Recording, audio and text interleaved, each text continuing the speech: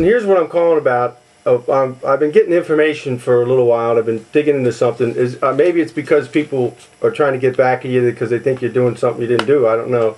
But the, yeah, the word on the street is that you're involved in a, in a homicide. No way. That's crazy. Yeah, they're saying that you killed Jeffrey Wallace and dumped the body up there by your house. Yeah. Nope. Wrong. I was interviewed by the state police. I told them my phone records. Uh, actually, I was out in Mountville all night long riding with Randy that night on our bikes. Okay. Uh, I told the police, I said, uh, you can verify uh, my whereabouts by my phone and by my computer because I was home on the computer. And and I uh, I went up to the state police barracks. They interviewed me for 45 minutes. I told them I'd give them a lie detector test. And I showed them my hands. They wanted to see if I was physically marked up. And that's furthest from the truth. How soon? How soon did they do that after the fir- after the homic- after the uh, body was found? I don't know. Like couple right- weeks. A couple weeks. couple weeks. And you were in Mountville riding with Randy. I was in Mountville all that night, yes. Riding with Randy. Yes, I, I, I looked at my phone bill since then, and I have verified with myself that if they call me for my phone bill, they could see that I was in Mountville. Uh, actually, I think I was in Mountville and I went over to some, some girl's house, and then I went home, and I was on the computer. Mm-hmm. And, And home's in Conestoga, right? yes. Yeah. So you were. That's nowhere near where the body was found. No, it was, no. I So why do you think his car was in your back of your driveway that night? The car was parked in my driveway, yes, of a house that I sold 30 days ago. Yeah. Why? What was he doing there? Do you think? Do you think he was smoking crack in the house because he knew it was empty or something? No, I don't think so. Think you? Any idea why he was there? I don't know. No idea. Why do you? Now they say that this uh, Bill Plank was uh, involved. Was he with you that night with Randy? No, no. I think I think that I think that I saw Bill Plank a couple days later, Yeah. and and and this guy's girlfriend was laying in his bed, in Frankie's bed. That girl, Lori, Lori, what's her name? Lori. Lori, uh, the, what's the guy that got killed? His name is Oh, Wallace. yeah, Jeffrey Wallace. Wallace. His girlfriend is named Lori uh, Flick. Slick. S L I. Yeah, she's she's her her father's like an ex a state cop or an ex uh, West Fairfield Township cop or something. Flick, F L I C K. F. F is in F is in Frank. Yes, yes. But uh, no, I have nothing to do with that, and I I can tell that anybody. And Interesting. That's interesting. And so Lori Flick is, and, and you're saying Lori Flick was then with. Uh, Well, she was in Frankie's bed, right? And I, I called Frankie. I said, "Yo, man," I said, "I said, check this out, right?" I said, "The cops want me to go down and talk talk to them about this murder, right?" Right. And he, and he told me, "Both the girls in my bed sleeping right now." So I went into this fucking house and asked her. I said, "What the hell is going on?" mm-hmm. And she said, uh, "She said she didn't know, right? She acted, she was sleeping, right? And, Right, uh, right. All groggy. So I didn't really, I didn't really talk to her because I don't know, I didn't have no, no, uh, no reason to talk to her, you know. So Right. I asked her what the hell was going on, and then she left and, and started saying shit about me, Frankie, right? Like about I was a snitch, a cop, or whatever, you know. Okay. And and I don't, I don't know. So do you think Planky killed him or is trying to stick it to you? No. Yeah, I don't know, dude. Mikey never said nothing to me about it. I called Mikey and told him. I said, I said, uh, what the fuck's going on? And he Mhm. said, I don't know. I said, why did the state cops want me to come in and see him? I said, I don't know. I said, what the fuck, you know? And I went in and told the state cops. No big deal. Mm-hmm. They looked at my hands. Uh, they asked me if I knew him. I met him once, once or twice through G, George, uh, Skiatis. Right, right. And, uh, I don't know. You know. All right, listen, I get back to work. Hey, take care, man. Have a good night. I'll talk to you later.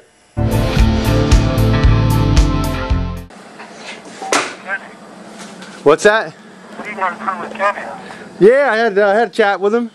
Did you? Yeah, he's uh, Well, you know, he denies anything to do with anything, of course. Brian's ass off, man. Denying, he's lying his ass off. Yep. Hold a second, let me get to where I can hear you here. Yeah, he's. So what did uh, see if I can hear you here. What did he tell you? What did he tell me? Yeah, Got him and talked to him. who told you? What he did? Yeah, well, who told you what he did? that could have done it, man. No other way. He's the only one who could have done it. Yep. Hello. How do you know? About it. And so did Frankie. Frankie talked about it too. He, came and uh, questioned me. He came to me and uh, asked me what he should do. He came and asked you what he should do. Yeah. How long ago, How long after the body was found was that? Uh, not long, because they questioned Kenny, and then uh, they got it. They got that on tape that he called me. Both of them. They got it on tape that both of them called me, They got on tape Kenny and Planky calling you and asking you what to say. asking me what. They didn't ask, the one time Kenny asked me if uh, he was at, at Frankie's house that night, because me and him went out somewhere. We went up to Mountville drinking, Yeah. and when we left Mountville, I came home. and He went. He went to dude's place the night it happened. He went to Planky's. You know, discrepancy about drugs. They were doing something with drugs, you know, and somebody wasn't happy about something. Yeah, there wasn't there was wasn't a happy deal going on, right? Right, right, So he came back dissatisfied with the quality per se. right. Maybe that might have been what it was. Quality, money, whatever. Quality, qu- quantity, whatever, cut. Right, right. So he shows back up at, at Kenny's, but I think they're trying to cover for him because they want him to fucking. He's part involved in this thing with me. right. You know, he's he's been telling about all these people. So you think he's working with the drug task force? Yeah, I, I know he is. It's most certain. I mean, I don't have it on proof, but I mean, he's that's how that's how I got it. That's how Right. I got. So because of that, you think they're letting him go on the They're, homicide? they're covering him for it. That's Right. I. Right. I could be wrong. I don't know. But I mean, Planky- that's what it seems like to me. So, but they got Planky talking to you on the phone, asking you what to do about it. Yeah, they got him and and Kenny. At the different times or at the same time? Different times, different times. And that was within a couple days of when the body was found, Yeah, because uh, Kenny told me then that uh, they wanted to talk to Planky. After they talked to him, right? they wanted to talk to Plank. Right. So they talked to Kenny first, and Kenny told me that they wanted to talk to Plank. And then Plank called me and told me that, you know, that he he was aware, apparently that you know somebody wanted to speak to him, and he asked me what to do. Right. And did he, he? He didn't necessarily admit that he'd done it. No, neither one of them did. But they, Right. you did, you know, uh, Frankie did admit that they beat the guy up when did he tell you that? when he came to see me after that. After he called me on the phone, they have it on tape. Oh, what? Read it. He called you on tape, or after they called you and he got it on tape, then he came to see you at the garage or something. Yeah. Yep. And uh, now you know Kenny's using you as an alibi. No, he ain't. Yeah, he He is. wasn't with me. He told me you guys were out all night at the Mountville, and then he No. went. Then he went home and played on. His, then he was on his computer. That's not correct. So he he gave me the impression. And you went to some girl's house. You go to some girl's house that night too. Nope. So as far as you know, last time you saw him was at the Mountville. Or, Yeah, but we split, we, when we left the Mountville, we split up. and is that midnight? After midnight? I'm not certain exactly when it was. Mm-hmm. Mm-hmm. It was it was probably before midnight 'cause it was cold out. You know, it was, it was we were riding bikes, Right. Right. and it was it had been before midnight it had been too cold. You know what I mean? Yeah, it was cold. What the hell you wanted to stay out all night doing that, right? yeah, Christmas is like February or March or something, wasn't it? And, now I understand that the DEA came down and had a chat with you down there. Yeah. Did, did they uh, mention my name? They like me? Yeah, they, they, they, they showed me a picture of you. Is it a good picture? They said, who's this guy? I said, he's the guy that's going to get you in trouble if you fuck up. Well, what is it? What'd you say? I told you, he's the guy that's going to get you in trouble if you fuck up. I'm the guy who's going to get him in trouble if they F up. so, did they seem to know who I was? They didn't know, apparently. Cool. That's good. Well, they know now.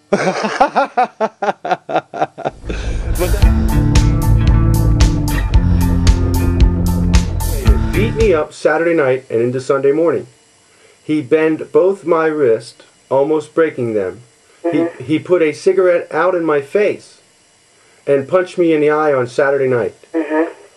He picked me up on Sunday and threw me around the room into the fridge and the dresser. He screamed obscenities at me. He slammed me into the floor, causing me to black out, and suffocated me with the mattress. Read the important parts, if you would, from the anything that's in there. You gotta love Kenny. He can kill someone and not go to jail, and here we are. That just fucks me up. I'm doing his time.